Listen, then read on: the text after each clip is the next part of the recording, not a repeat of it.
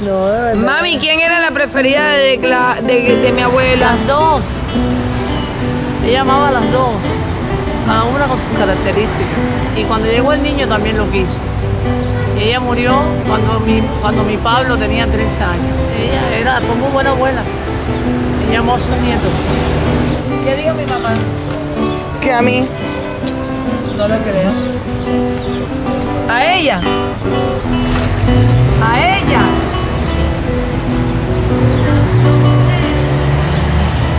Dijiste que la quería más a ella. Salía de mi escuela, iba directamente a la Casa de la Cultura de Centro Habana, que quedaba allá en... ¿Dónde queda? En Zanja. Carlos III. No, ¿qué Carlos III, mamá? En, en Zanja. a verla con su grupo de teatro y yo la, yo la apoyaba en todo. Creo que era yo. Era yo. Porque quería ver lo que estabas haciendo y quería terminar, pudieras terminar de hacer el documental con esta entrevista de quién era la mejor o quién a quién más quería.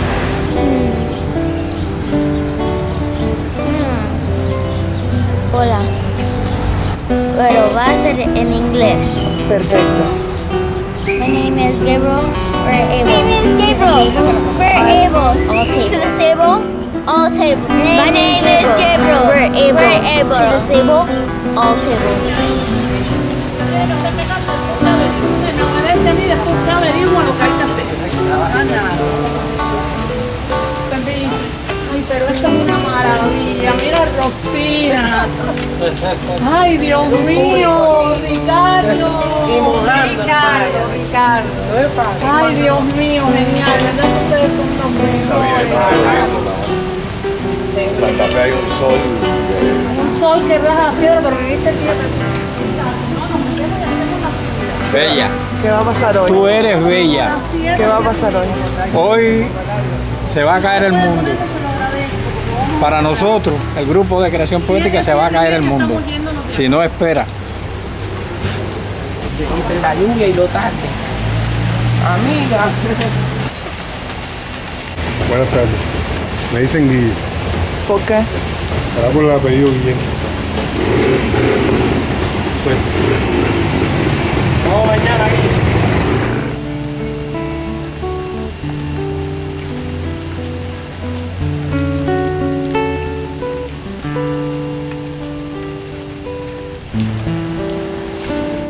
Vamos a tratarlo como un descanso para mí, que son 17 años. Y yo creo que ya yo me merezco poder hacer otras cosas. Porque es que en este país la gente está acostumbrada a que las cosas se acaban cuando la gente está liquidada. Estoy liquidada, yo estoy perfecta, no tengo problemas, no me ha pasado nada, nadie me quiere matar, nadie quiere sacarme, todo el mundo está preguntando. No me han votado, sigo la fundación, todo está bien, no hay nada, ningún problema es un descanso para mí que yo creo. ¿Qué tú crees, Alfredo? Muchos años. ¿Qué tú crees, Richard? 17 años. Escribir mis propias cosas, cosas que quiero hacer, que ya 17 años. De mi niña, que mañana cumpleaños. 43. Y eh, está la noche muy mojada y no quiero que nos vayamos hoy tarde. La realidad del caso es la siguiente. La Unión de Escritores y Artistas de Cuba va a hacer una reparación capital en las dos salas. Esa es la verdad. Yo me estuve cuestionando qué hacer. Es- Esto ha sido una gran contradicción para mí, más que para todos ustedes un atrás y para dentro de mí, tremendo. Yo llevo muchos años luchando porque el grupo, que para mí el grupo no es una masa, eh, sino es, son individualidades, son personas individuales, agrupadas en un pensamiento, que el grupo no eh, se reuniera en espacios que no fueran la unión de escritores. Porque considero que, que la poesía hecha en otros lugares es buena o mala, porque la poesía es buena o no es poesía, como yo lo he dicho muchas veces. En fin, que la presencia física en la unión yo creo que es importante. Siento que eso lo sentí yo siempre. Hay muchos grupos y talleres, todos son buenos, todos son importantes, todos son valiosos, pero este es el de la Fundación Nicolás Guillén que radicaba en la Unión. Esta reparación capital se comienza ahora, van a cerrar la Villena, ya cerraron la Guillén, y no se sabe cuándo va a terminar. De hecho, todas las actividades de aquí, de la Unión, se desplazan hacia otros espacios de la ciudad. Nicolás a mí me dio la orientación de buscar otro espacio. Yo indagué otros espacios a nivel del grupo, la Casa del Alba, octubre 2 del 2014. Grupo de Creación Poética, Fundación Nicolás Guillén. Cada jueves a las 5 de la tarde, en la sala Guillén de esta Unión de Escritores y Artistas de Cuba, durante 17 años ininterrumpidos, se ha producido la magia de la poesía y el amor. La Fundación Nicolás Guillén y la UNIA han dado espacio para tal encuentro y reencuentro de cientos de personas, hombres y mujeres, en búsqueda de una voz y de reconocimiento de su más profundo sentimiento, de sus más sensibles inquietudes. Cada uno en el afán de ser escuchados, la paciencia, la continuidad, la permanencia del espacio, la lealtad a principios profundos humanos, el amor a la cultura, a Cuba, convirtieron este proyecto en el camino para el crecimiento personal y artístico de cubanos y cubanas que han sido testigos, protagonistas y triunfadores en estos largos años, casi dos décadas de amor y poesía. Integrantes del grupo han sido ganadores y finalistas en concursos como El David, La Gaceta de Cuba, El Julián del Casal, Pinos Nuevos, A la Décima, Regino Pedroso, Adaelba Pérez, Rafaela Chacón Nardi, Soy el Amor, Soy el Verso, El Farraluque, El Noci de Caribe, Premio Especial del Aeropuerto José Martí, entre otros, de categoría digital y de alcance internacional. Son parte igual estos poetas de un sinnúmero de antologías cubanas y extranjeras, además de sus publicaciones individuales en editoriales de prestigio del patio y foráneas. Hay que destacar la antología de 50 poetas como cada jueves, realizada en Barcelona, y el documental junto al poeta El Hombre de la realizadora Claudia Rojas y exhibido en el Festival de Cine Latinoamericano. Ambos proyectos motivados por la calidad poética y humana de los integrantes del grupo. Después de tantos años, el saldo ha sido de una gran felicidad para todos. Se han formado con nosotros personas de todas las edades y de una diversidad extraordinaria en la población cubana. Diferentes identidades e individualidades hoy día han crecido en el colectivo y el trabajo semanal. Hoy encontramos espacios poéticos y tertulias protagonizadas y organizadas por hombres y mujeres del grupo con su propia propuesta literaria y artística. Las filas de la Asociación de Escritores de la UNIAC se han incrementado con miembros del grupo e incluso hoy en día los especialistas y trabajadores de la misma han sido formados en el grupo.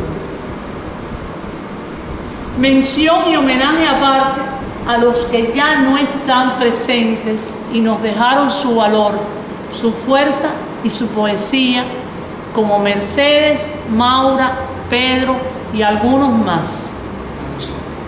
Ahora toca crecer mucho más en el trabajo individual. en estudios y creación e investigación. Las puertas de la Fundación Nicolás Guillén están abiertas para todos los proyectos que surjan en este sentido. Debemos agradecer el apoyo incondicional de la UNIAC y personalidades como Carlos Martín, Alex Pausides, Lina de Feria, Miguel Barnett, Enrique Sáenz, Nicolás Hernández Guillén, Waldo Leiva, Mario Martínez Sobrinos, entre otros, que creyeron en nosotros y en que sí se puede. La poesía es una flor que en Cuba crece a cada instante. Solo hay que descubrirla y darle valor, regarla, dejarla crecer. Gracias a todos y a todas por confiar en mí, licenciada Aries Morales.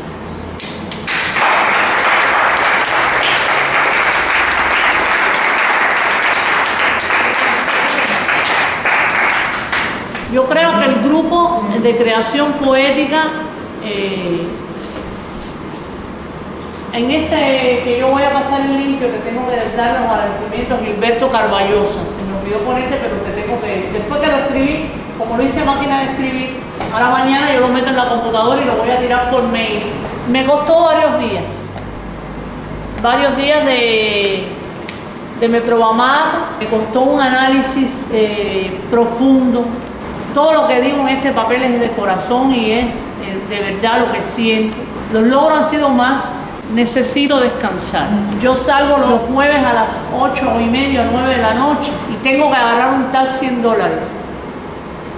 Porque está muy oscura mi cuadra. O sea, 24 está completamente apagado, 15 está completamente apagado. Todo el mundo sabe que hace muchos años yo vivo sola. Yo sigo trabajando en la Fundación Nicolás Guillén. El proyecto que ustedes tengan en mano me llaman, todos tienen mi teléfono. Puede que algún día a lo mejor a uno se le ocurra incluso aquí en la Unión, en el Unión Azul, hacer una tertulia. Yo estaré ahí con el que esté. Yo nunca pensé que Ricardo me habló del grupo que se reunía aquí en la Unión y que vinimos y lo hicimos. Nunca pensé estar 17 años. Son tres carreras universitarias completas cada jueves a las 5. Creo que hemos hecho un trabajo espectacular, señores. Todos. Creo que hemos creado un ejército de personas afines a la poesía. Creo, que hemos creado eh, personas que piensan de una manera distinta.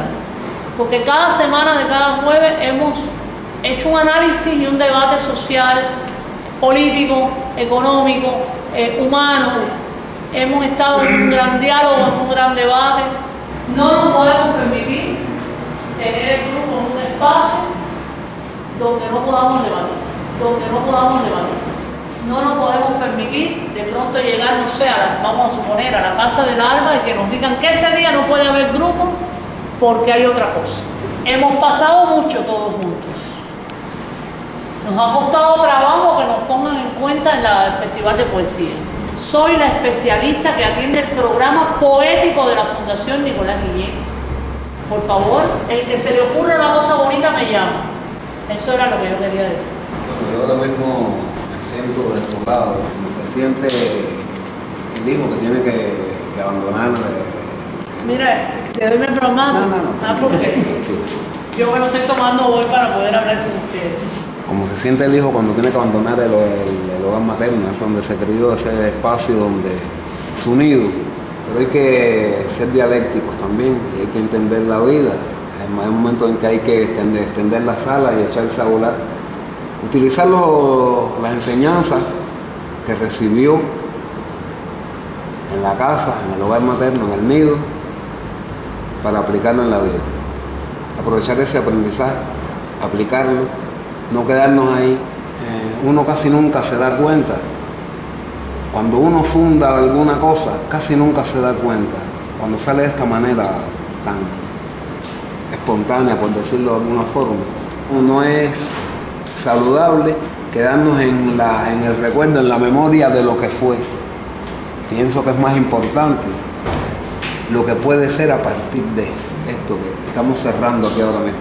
Y aquí está Rosina, que fundadora, Ricardo, que es fundador, Amelia, que fundadora, Natividad, que es fundadora, mi hermano, fundador, Alfredo, estos son los fundadores. Y es increíble que los fundadores estén el día de hoy aquí. Y los que no están, me han llamado todo el día los que no están para decirme, no puedo por esto, no puedo porque estoy en un salón de operaciones, no puedo por esto otro. O sea, yo me siento apoyadísima, es lo que dice Omar. Yo quiero decir, señores, que no es una despedida. No entendía cuando ella me lo planteó, no entendía, y me cerré, hasta me desvelé, entendía que ella me lo dijo. Porque es verdad que me puse a pensar 17 años que llegaste a esta situación y que de momento me- es como que me cerruche en el piso, como se dice popularmente, voy comprendiendo la situación de ella y la situación que va a presentar el grupo con el cierre de las salas esta aquí de la Unión. Que Vamos a hacer un grupo nómada. No podemos permitirlo. Esa falta de respeto no la vamos a hacer. Lo que sí es lo que dice acá mi hermano, que tenemos que seguir sintiéndonos como un grupo. El sentido de pertenencia del grupo de la Fundación Nicolás Guillén. No, reitero. algo regado en tu casa. Sí, sí, me, me lo dio mi hermano. Reitero las buenas tardes. La- lo primero que iba a preguntar era de por dónde venía el planteamiento, pero ya caí en, en frecuencia. Yo lo voy a volver a leer el papel cuando termine toda la reunión al final por los que han llegado. Es lamentable que suceda, pero. Si no hay otra opción, no queda más remedio que aceptarlo. No solamente ha reunido aquí a personas que le gusta la poesía, sino que ha hecho emerger los mejores valores que tiene cada que ha tenido cada quien. Aquí he conocido muy buenos amigos, son para toda la vida. Recientemente leí un libro hindú que tiene mucho que ver con esto que nos está pasando ahora. Y es que los discípulos tienen su momento de tirar la vaquita por el barranco. ¿Qué quiere decir esto? Que uno todo lo que aprende lo tiene que poner en práctica y un poco que hacer un distanciamiento y ponerse uno de testigo para ver si en realidad uno asumió todo lo que aprendió. Yo creo que era necesario este descanso por un problema universal. Yo creo así. Es triste, pero creo que universalmente el grupo estaba necesitando un descanso universal para ver cuánto hemos crecido. Porque cuando uno ve a las personas todos los días, todos los días o todos los jueves, uno no sabe cuánto uno necesita de esas personas y cuánto aprendió, cuánto creció. Y yo le agradezco mucho a Aris Morales y a todos los compañeros que estamos aquí, de una forma u otra, unos a otros nos hemos ido retroalimentando y hemos crecido. Y yo creo que aquí hay un, una línea de amor que no se va a encontrar nunca en ningún lugar. Porque nosotros, a pesar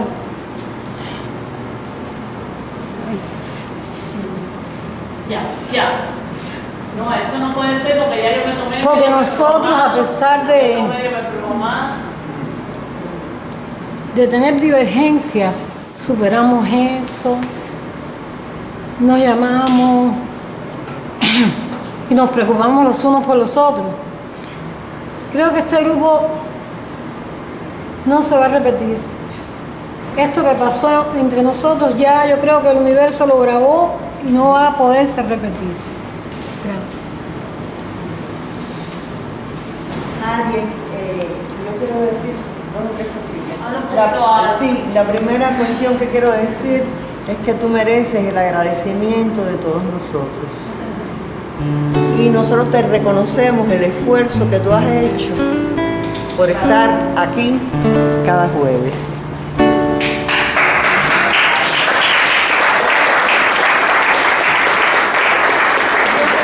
Tú has cohesionado a tu alrededor a toda una cantidad de personas diferentes y se ha puesto de manifiesto la diversidad.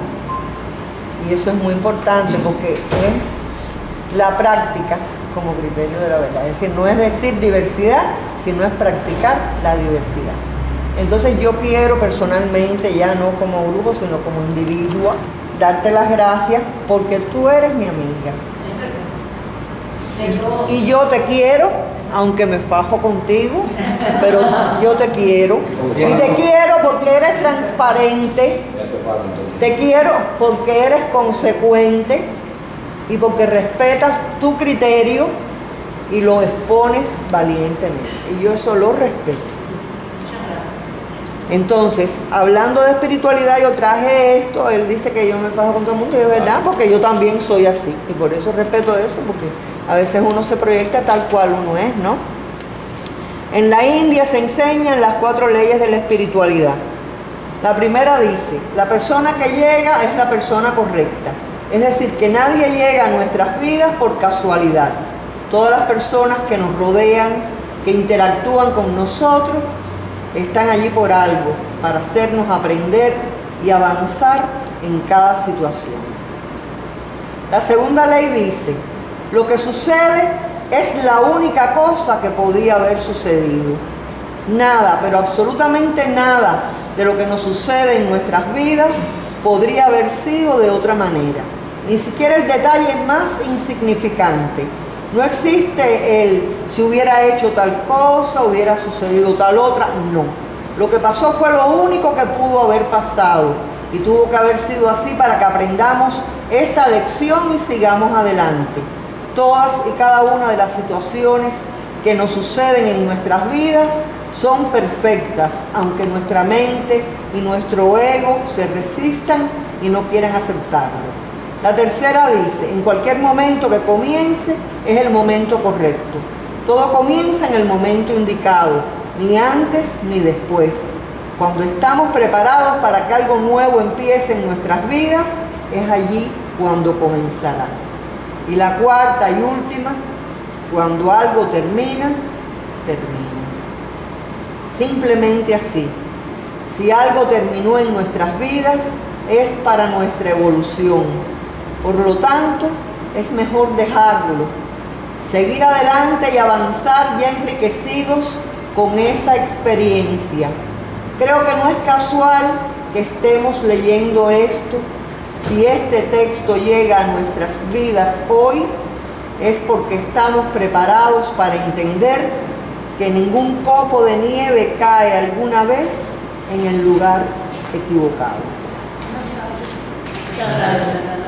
Para darte lo que tú mereces, mucho amor, porque nos has dado mucho amor, Muchas gracias. Pero voy a hablar yo antes que hable todo. Porque yo estaba pensando ahora hace 12 años cuando hicimos el quinto aniversario del grupo. Llamamos tremenda compañía. Conseguimos los sponsors famosos aquí. Lo fue hace 12 años. Yo no me siento triste. Para nada. Yo he pensado en el camino. O sea, en el, en el proceso hasta hoy, ¿no?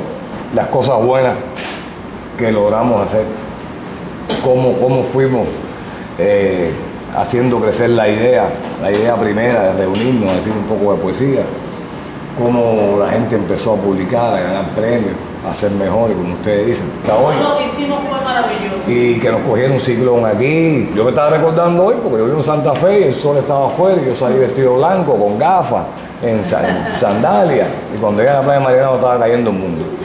Dije, ay mi madre, no me entristece, porque yo voy a seguir escribiendo. Exacto. Todos ustedes van a seguir escribiendo, creo. Por ahí va, no se entristezcan, nosotros vamos a seguir viendo. La unidad va a ser más linda. Yo no sé qué van a arreglar aquí. Yo viendo mi casa de cultura que se está cayendo, estoy pensando que a la unidad le sobra dinero. Yo soy así, yo hablo así. Yo también pienso lo mismo. No sé, no sé qué arreglo hay que hacer aquí en este lugar, no sé. Con, con tanto que hay que hacer por las comunidades, por las localidades, pero bueno, esa es la estrategia y las políticas. Yo no soy ni estratega ni político. Yo soy un profesor de danza que se atreve a escribir. Y Aries, Tú dices, tienes tienes toda la razón, Claro, que van a hacer un café cantante de arriba. ah, qué bien. Cantante de radio.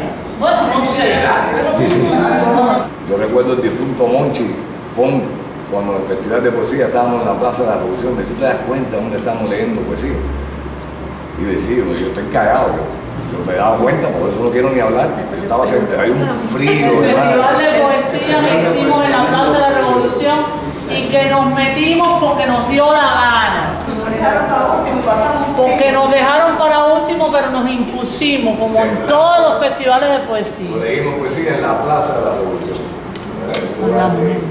Que poesía, aparte de los jueves aquí, se puede hacer en todos lados. No puedo eh, profundizar mucho porque puedo ponerme a llorar. Estoy profundamente agradecida.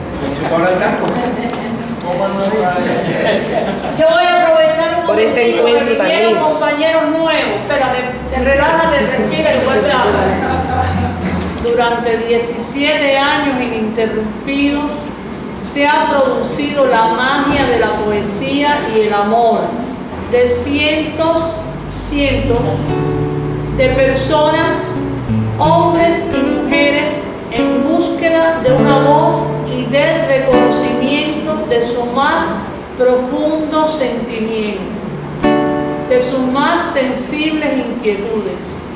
Cada uno en el afán de ser escuchados, la paciencia, la continuidad, la permanencia del espacio, la lealtad a principios profundos humanos, el amor a la cultura, a Cuba, convirtieron este proyecto en el camino para el crecimiento personal y artístico de cubanos y cubanas que han sido testigos, protagonistas y triunfadores en estos largos años, casi dos décadas de amor y poesía.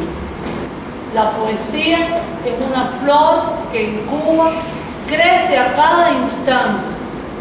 Solo hay que descubrirla y darle valor, regarla y dejarla crecer. Gracias a todos por confiar en mí. Licenciada Ariel Morán. Ese es mi Díganme como, como fundadora, eh, vaya, Ariel no puede haber sido mejor. Aquí yo creo que esto ha constituido una salvación no solo para mí, sino para muchos del grupo. Primero quisiera saber, porque no estaba aquí con usted, las razones ¿no? por las cuales no, no continuamos. Y segundo, yo les voy a decir mi opinión sincera. Yo no estoy de acuerdo con que usted, con que termine el grupo. Primero porque el grupo es más que, un- que poesía, es más que eso, es una hermandad de personas que han, que han crecido juntos en, en- para bien, para mejor. Juan Carlos, déjame explicarte, la situación no es nuestro grupo. Nuestro grupo no tiene ningún problema. Nosotros no estamos ni perseguidos, ni aplastados, ni nos están votando. Eso no ha pasado aquí. Lo que sucede es que la unión de escritores y va a cerrar unos meses. Yo me di a la tarea de buscar otros espacios que no son posibles, porque cada espacio tiene su propia programación. La unidad les va a caer arriba con la programación de la unidad.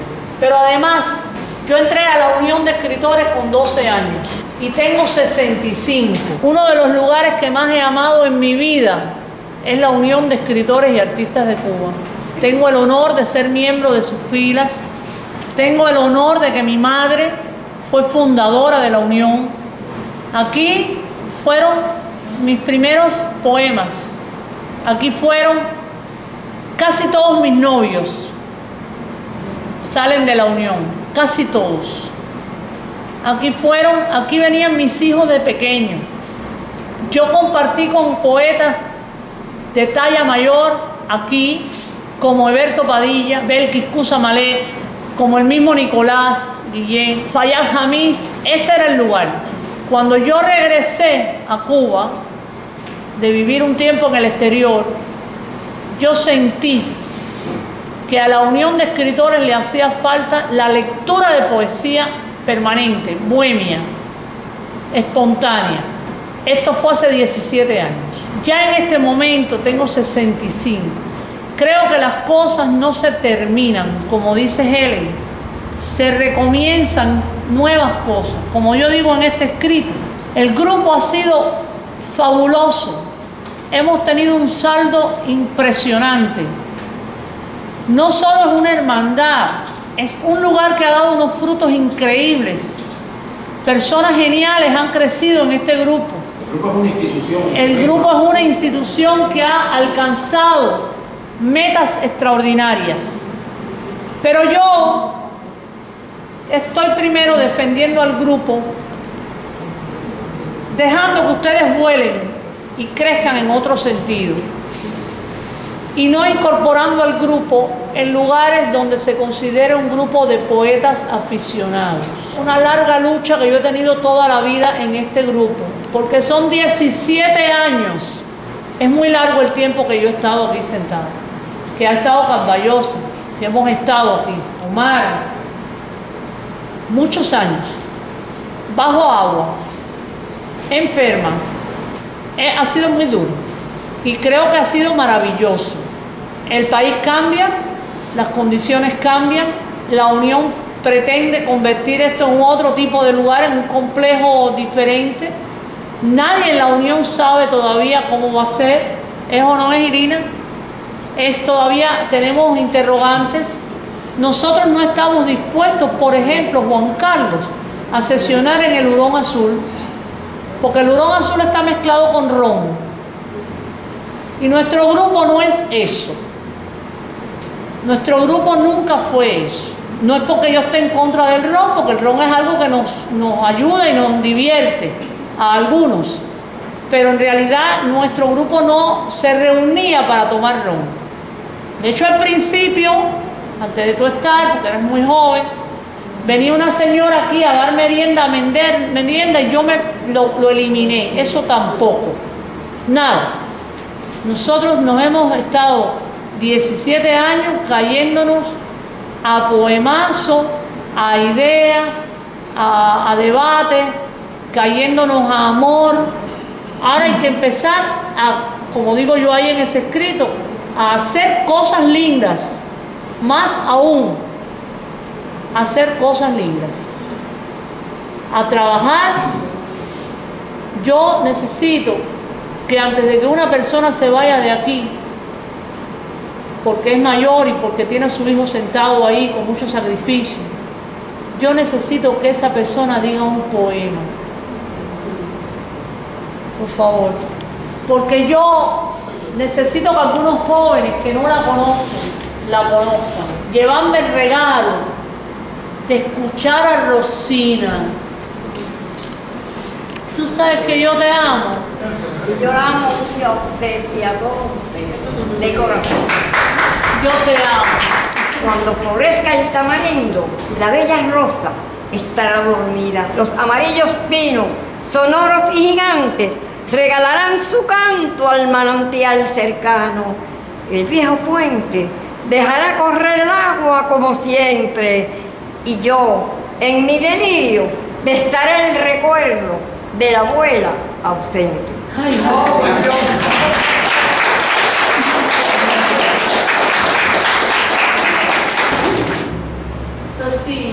Benedetti, no te quedes inmóvil al borde del camino. No congeles el júbilo. No quieras con desgana. No te quedes sin labios. No te duermas sin sueño. No te pienses sin sangre. No te juzgues sin tiempo.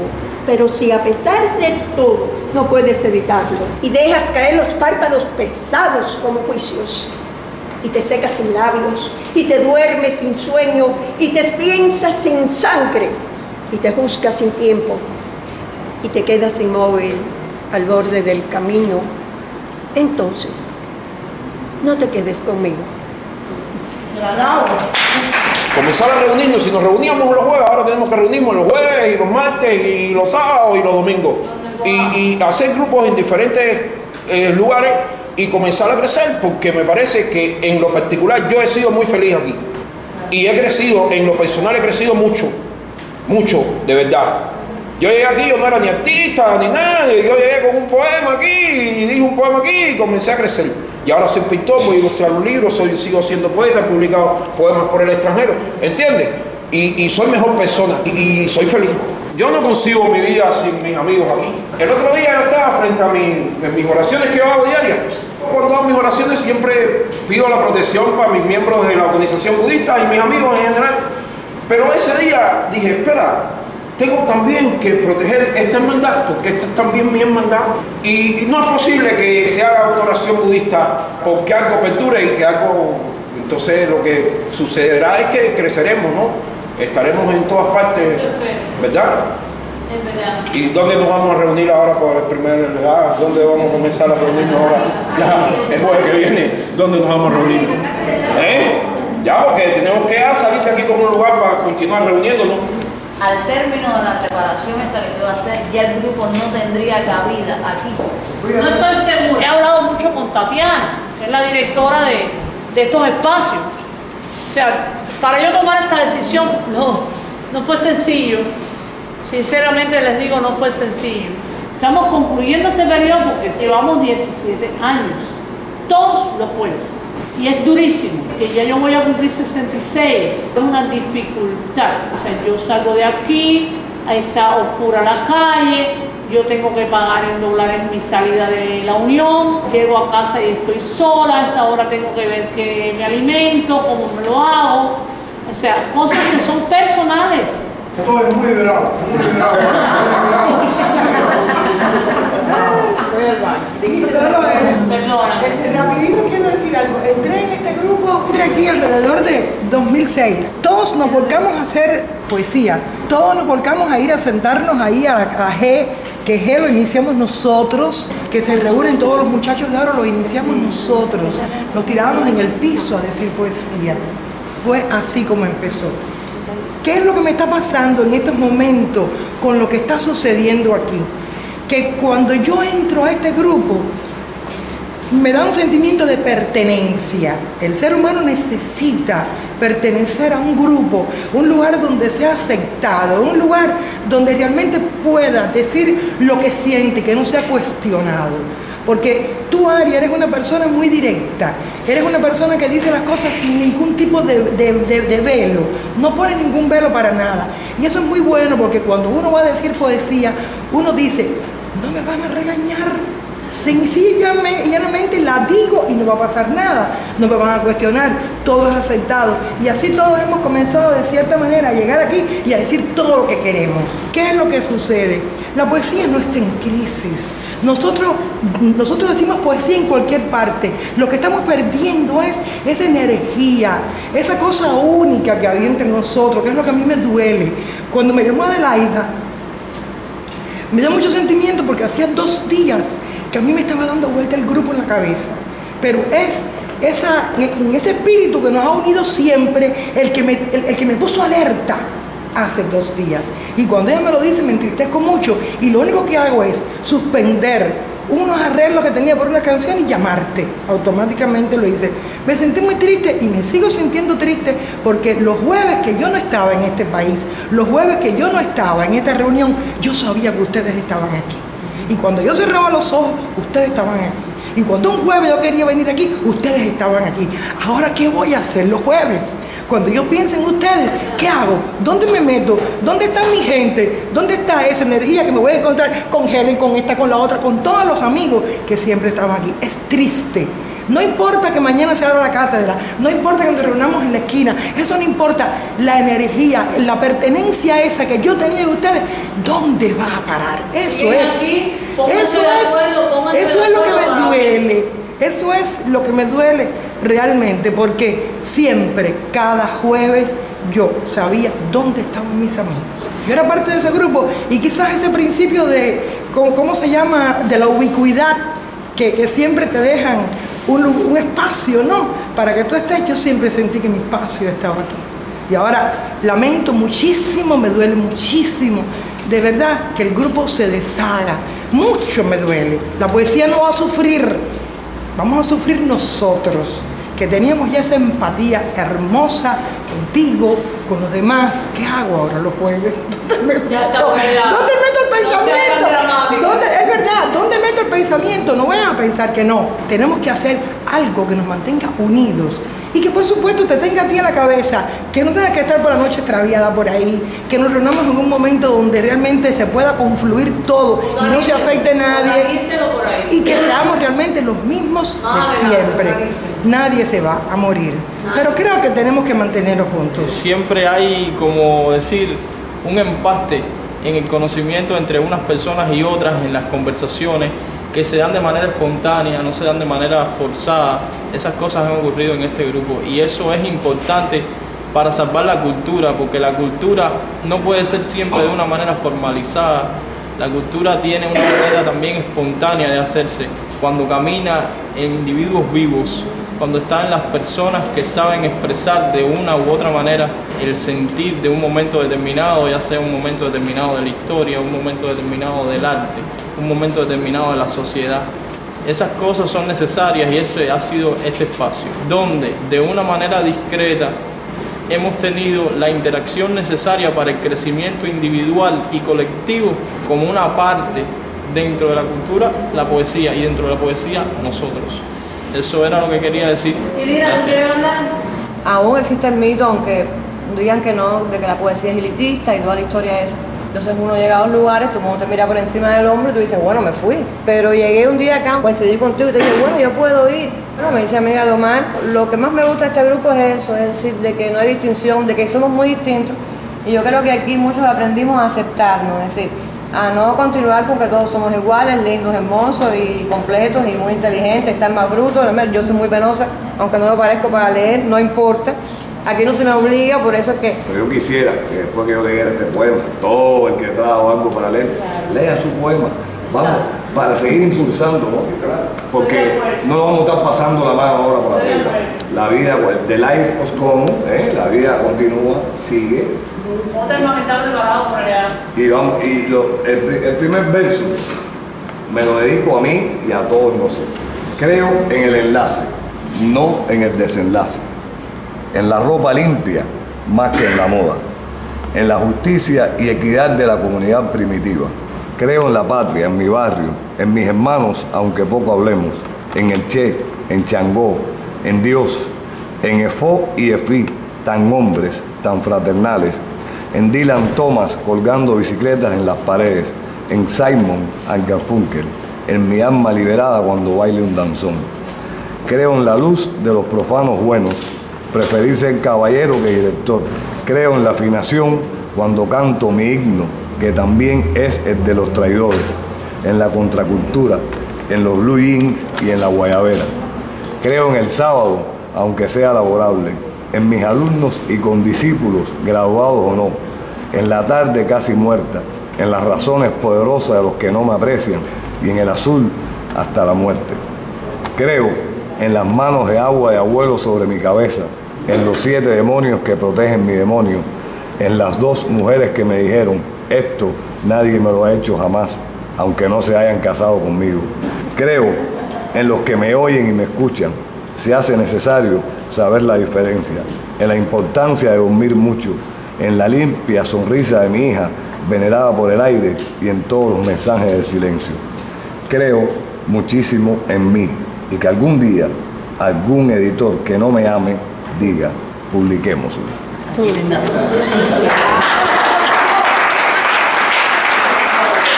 En este grupo, en determinado momento, yo a algunas personas le he dedicado un poema para crear una atmósfera agradable.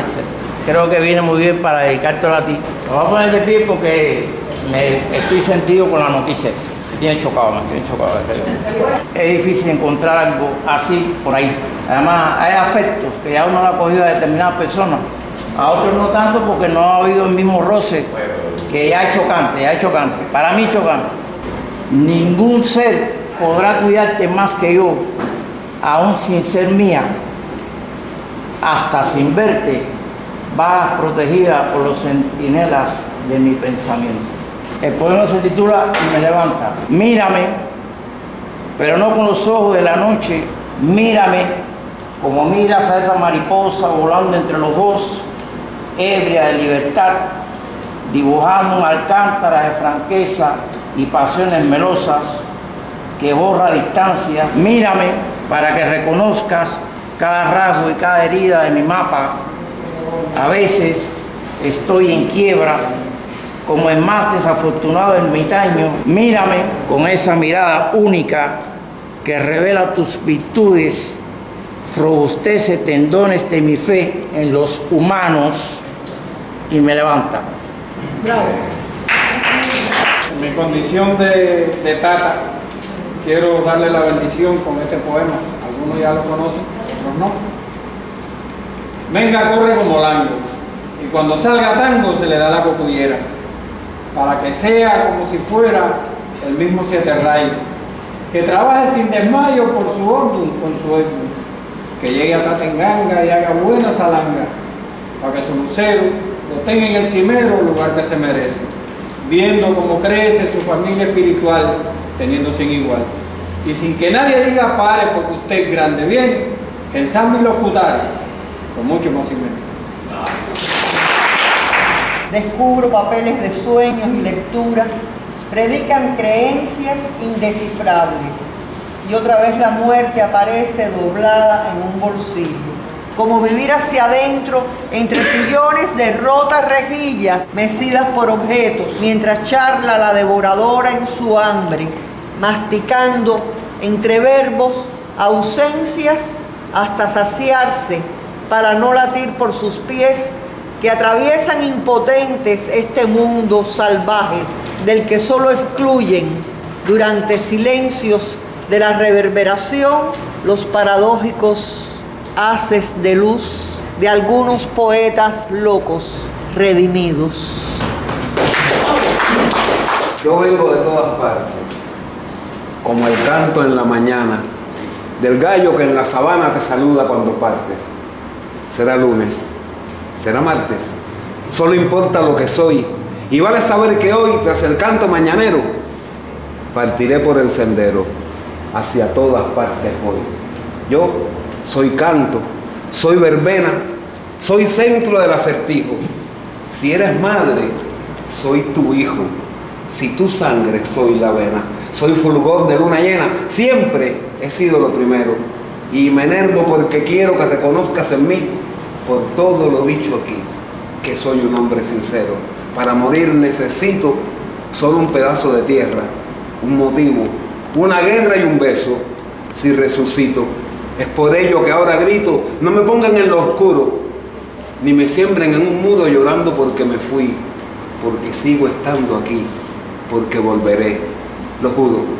Y para el cruel que me arranca el corazón con que vivo, cardo ni ortiga cultivo, cultivo la rosa blanca. Le ofrezco mi mano franca, mi beso, mi desmemoria. Le invito a asumir la gloria de elevarse como hombre. Le invito a sumar su nombre a los nombres de la historia. Un epitafio. Aquí yace el poeta, pero no se lo digan. Él se creía inmortal. Documental sobre mi abuela. Abuela. Bueno, sí tenemos que verlo.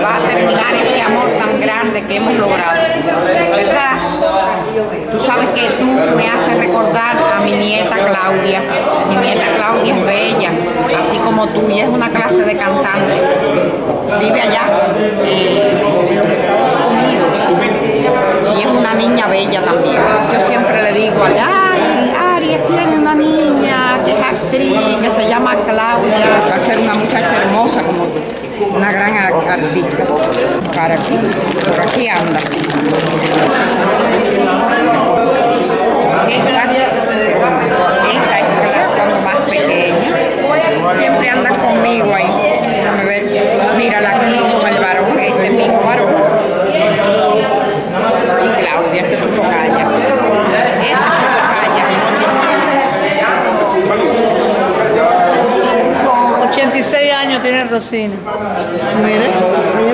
el 52. Y el 52.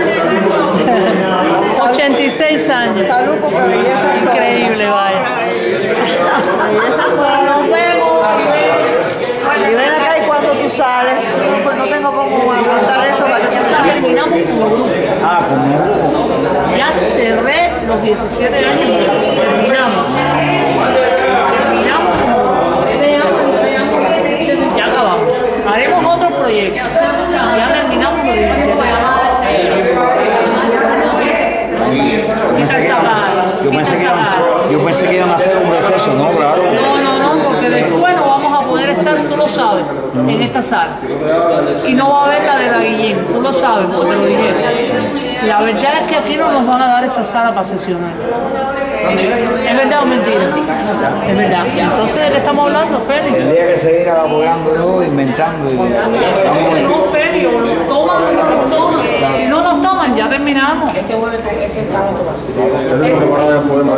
Hoy que tengo que llevar. Ahora ustedes me llaman por teléfono y nos reunimos. Ah, Cuando quieran, donde quieran. Vamos a hacer reuniones. Se toman unos traguitos y me llaman. Yo voy. Tengo que. Voy. No, pero sí me tomo de vez en cuando. Llámame y me cita para explicar. Eh, eh, esta semana está recogiendo las Pero tú vas el sábado. ¿A qué hora?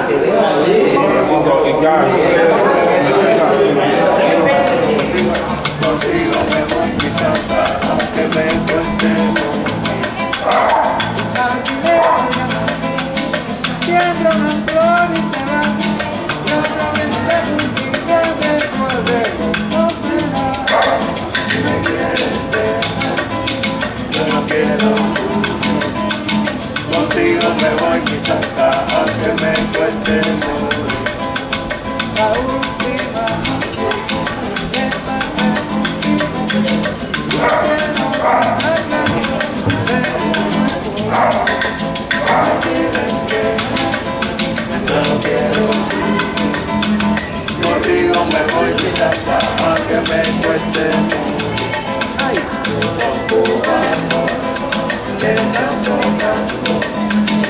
Apúrate, ven y que esto se está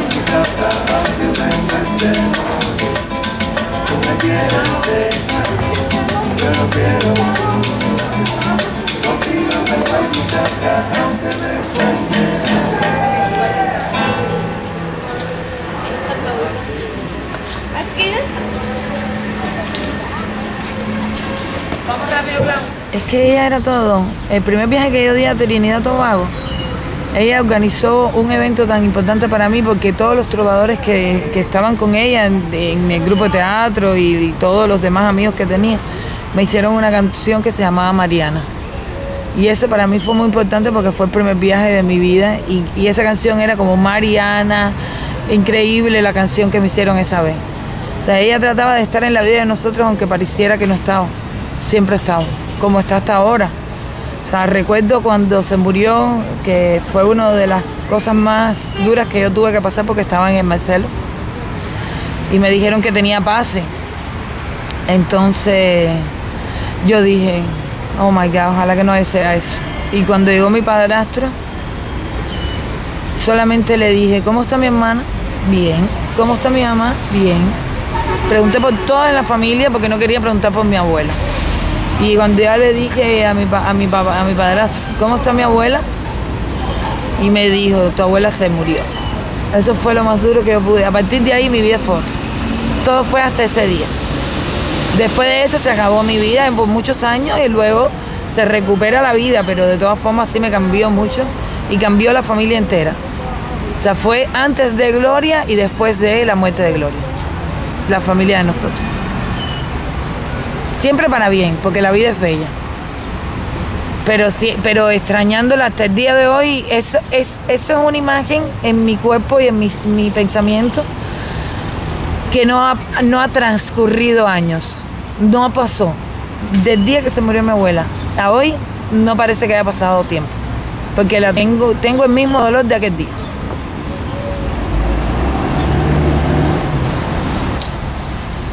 Tengo más historias. Tengo otra historia de cuando ella nos llevaba a pasear. Era tan maldita. Nunca hubo un día que no, no nos hiciera una maldad. Todo el tiempo nos hacía una maldad diferente. Como esconderse y nosotros pasarnos, pero no una maldad que, duraba poco tiempo, era una maldad que duraba mucho tiempo. Porque ella quería realmente que nosotros, yo y mi hermana llegáramos a encontrarla. Y nos podíamos pasar tres horas buscando a mi abuela detrás de una columna. Por supuesto, ya al final sabíamos lo que iba a hacer. Tengo muchas historias. Comíamos mucho en el Hotel Moscú. Amaba ese restaurante. Gloria Parrado Cruz amaba ese restaurante. Tengo la foto de mi abuela en ese restaurante. Este parque, por ejemplo, ella venía con nosotros y nos enseñaba, nos explicaba de qué se trataba este parque. Nos hacía la historia de todo lo que había pasado, pero era tan libre que hasta el último día que se murió hizo lo que quiso. Se murió el 15 o 22 de enero. ¿Y dónde está en estos momentos? Aquí. Al lado de nosotros. Muchas gracias por quererla tanto, muchas gracias por todos estos actores que donde llego, llego a Miami y la gente me habla de Gloria Parrado. He llegado a México y la gente habla de Gloria Parrado. O sea, yo le doy gracias a todas las personas que la amaron y todas las personas que se identificaron con la manera de, pensar de ella, que era, en el momen- era un, un- era un Picasso en Cuba en la época que ella decidió plantear todos sus pensamientos y ponerlos en la práctica, que todavía le sirven a todos los dramaturgos y todavía le sirven a todos los actores. No hay una persona que no haya pasado por las manos de Gloria Parrado, que tenía un carácter bien fuerte, con ese tamañito, con ese cuerpecito, con esa asma diaria, con ese caminar que tenía encorvado. Era una de las personas más importantes que hubo en mi barrio. Yo nací en el barrio Colón y en ese barrio Colón la única persona que decidió hacer algo con la gente sencilla, como entrar a, la California y, exponer obras de teatro, que era todos los fines de semana, recorría las calles y recorría el solar de la California. Esa mujer fue la que me enseñó a mí el primer solar en mi vida. Eh, amaba el barrio, amaba a la gente sencilla, amaba ayudar a todo el mundo, amaba llevar el arte a la gente que no sabía ni conocía el arte. Eso era lo que era ella, esa era la esencia de ella. Donde no, donde no conocen, ahí está el teatro. Eh, trabajó con todo tipo de actores, Bellas Artes. Ese era un lugar especial para mi abuela también. Gracias a Dios que la tuve en mi, en mi vida, pues porque ella viajaba mucho. Yo también viajaba, tenía la suerte de viajar, porque estaba en un equipo nacional con 10 años. Viajé por primera vez a Trinidad y Tobago y seguí viajando Curazao, Alemania, Rumanía, Checoslovaquia. Pero ella viajaba mucho y al único país que no pudo llegar fue Alemania. Echamos una competencia de quién salía de Cuba. Y siempre competíamos con eso. No pudo ver cuando ya fui a los últimos países, pero la amé, la amo y la amaré. La amé, la amo y la... Pero puedo hasta bailar. La amé, la amo y la...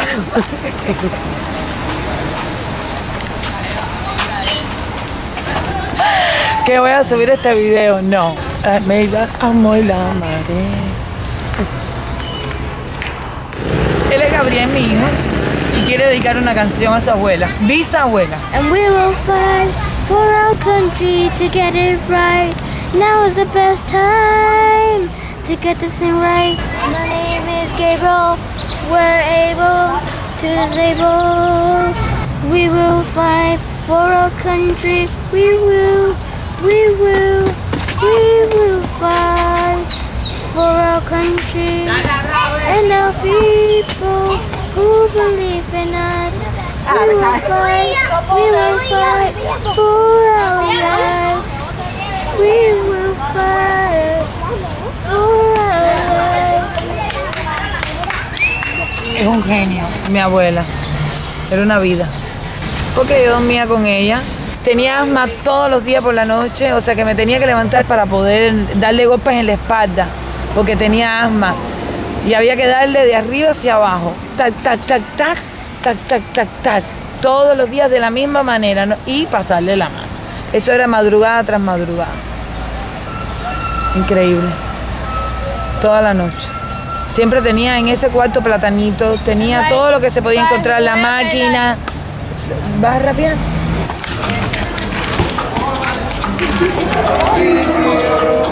sin que sepan que habían comido tiene lágrimas tiene lágrimas negras como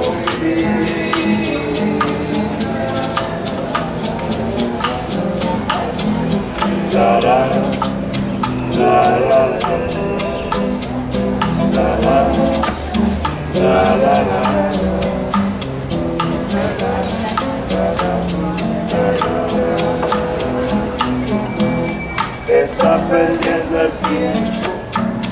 pensando, pensando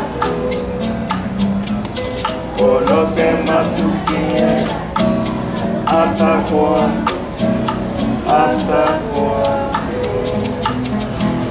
Y así los días y yo desesperado.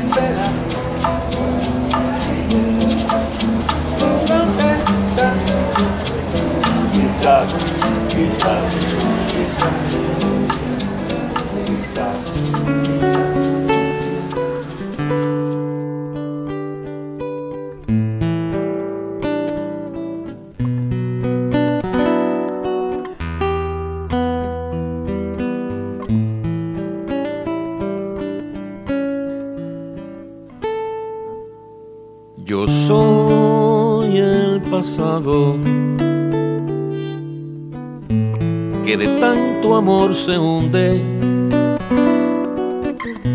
Soy el futuro que regresa siempre. Soy el andar de un animal antiguo y respiro la manada púrpura de la muerte.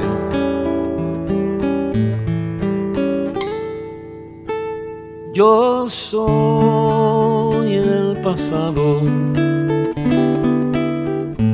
que de tanto amor se hunde y canto a llamaradas para que la poesía salga desnuda a parir el agua. Soy el dolor que el tiempo sufre. Yo soy el pasado.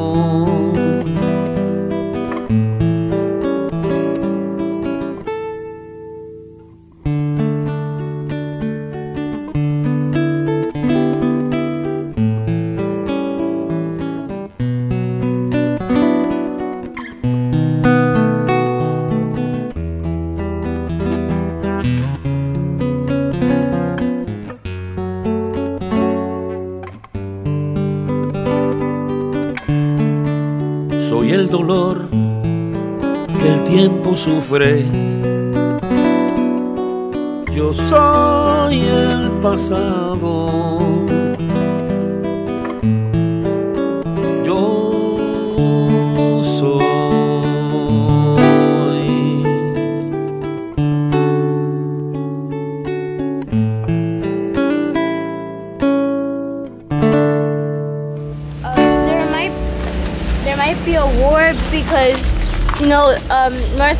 North Korea, Sagro, and Russia. Um, I don't know. They I guess they're just mad, but they North Korea has bombs and and I'm afraid we might go to war with Sagro, Russia, and North Korea because uh, yesterday um, Trump um, eh, he bombed the he bombed Segro. Today in the news, they said they said that Russia was going to start bombing people here. I'm afraid that that we're gonna start a war. It shouldn't happen. It shouldn't be because we've been the United States for a long time without a war and with peace. So I don't want that peace to just, you know, because we've been working. United States have been has been working so hard to find that peace, and now it's just oh, and now they're just gonna throw it away. No, it's not. It's not worth it. Getting people killed for no reason, I don't. I don't think it's worth it. I think that the war is also bad. It's bad because I don't want to go to war again. Porque había muchos wars in the past years. Como World War One and World, World War War Two. and I don't want World War Three to happen. Because then everything's gonna be blown up, fall apart, and but thank God is um we live at in the edge of the of United, United States. in the United States. So Florida wouldn't get hurt that as much. But all we can do is hope that we don't have a war. all we can do is hope that we don't have World War III and that it's not real and it can't be possible. Uh, we're at my house waiting for an Uber because my grandma doesn't does barely knows the internet and we don't know what the car is and so we're having trouble finding the Uber. Should be here by now, but look what I found. Strike by Trump on Syria airbase. Angers Russians. Russians. I was talking about this today. That's um wow. Yo, en mi delirio, de estar el recuerdo de la abuela ausente.